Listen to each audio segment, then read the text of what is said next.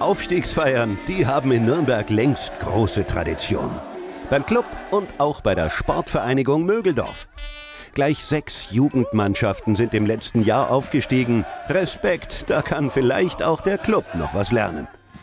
Dachte sich wohl auch Trainer Michael Kölner und hat Mögeldorf zum Partnerverein gemacht sind immer mal wieder aufgrund der Nähe auch der ein oder andere Spieler mal abgewandert. Und damals war der Kölner ja noch äh, Nachwuchsleistungszentrum ähm, Chef sozusagen. Und dann haben wir irgendwann Gespräche geführt. Wir können Trainer zu der Ausbildung zum Club schicken. Erstklassige Trainerausbildung. Davon profitiert vor allem der Nachwuchs. Die D-Jugend, also die unter 13-Jährigen, sind letztes Jahr in die Bezirksoberliga aufgestiegen. D-Jugendliche bedeutet goldenes Landalter, die sind jetzt auf der Höhe von ihren koordinativen Fähigkeiten, lernen sehr gerne. Das heißt, jetzt ist eigentlich der Schwerpunkt äh, auf Technik. Dribblings, Pässe, Torschüsse. Coach Harald Winter setzt voll auf das Training mit dem Ball. Keanu ist eines seiner Top-Talente. Er träumt sogar von der ganz großen Karriere. Ich würde am liebsten beim Club Profi werden und habe äh, da auch eine Anfrage bekommen und werde vielleicht nächste Saison dorthin wechseln.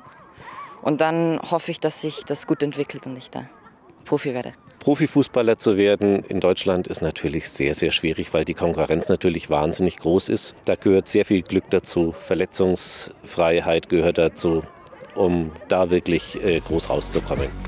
Die Profikarriere ist auch das Ziel von Amelie. Als einziges Mädchen spielt sie mit den Jungs in einer Mannschaft. Freiwillig, denn für das Mädchenteam ist sie einfach zu gut. Und noch hat sie körperlich keine großen Nachteile. Übernächstes Jahr, glaube ich, wird es nicht mehr klappen. Dann muss ich bei den Mädchen wechseln. Aber es wurde von den DFB-Trainern auch gesagt, dass man so lange wie möglich bei den Jungs spielen soll, weil man da besser gefordert ist. Die Sportvereinigung, ein Verein für Talente und für ganz normale Hobbyspieler.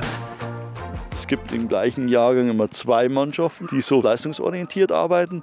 Aber derjenige, der dann vielleicht sagt, Mensch, mir ist andere Dinge wichtig, Freizeit, dann kann er hier auch noch mal zwei Mannschaften finden, wo wir eben eher diesen Breitensportgedanken leben.